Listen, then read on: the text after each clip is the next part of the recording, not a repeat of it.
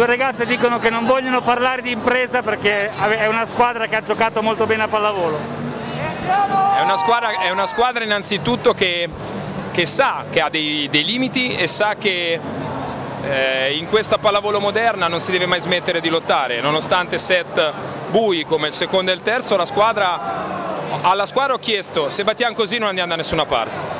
E la squadra ha ripreso fiducia, sa che abbiamo delle energie nascoste non si sa bene dove perché oggi ho avuto la defezione di, di Gennari ma niente di particolare, il problema è che giocando spesso può capitare ma la forza di questa squadra è questa, Davischiba, Lazovic hanno dato un gran contributo è un'impresa un sì, ma è un, è un, passettino veramente in una finale talmente lunga, però esordire così va bene. Sentir parlare di Monza e lo scudetto ti fa venire i brividi? No, no.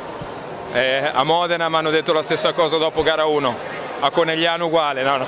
Ho imparato sulla mia pelle cosa vuol dire, loro sono, sono fortissime e quello che però mi ha reso molto felice è che non è stata una partita scontata e la squadra era sotto, ma sotto anche mentalmente, quindi dobbiamo pensare semplicemente a gara 2 in casa e un passettino alla volta.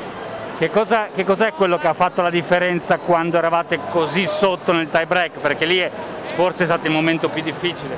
Ma io quello che ho chiesto alle ragazze era, sappiamo adesso come giocheranno, il nostro obiettivo era mettere un pochino più ordine su, dopo l'ingresso di Curtini dove siamo stati molto imprecisi. Se con Egono a volte è veramente difficile poter toccare e gestire, con Curtini e Sila devono essere nelle nostre corde.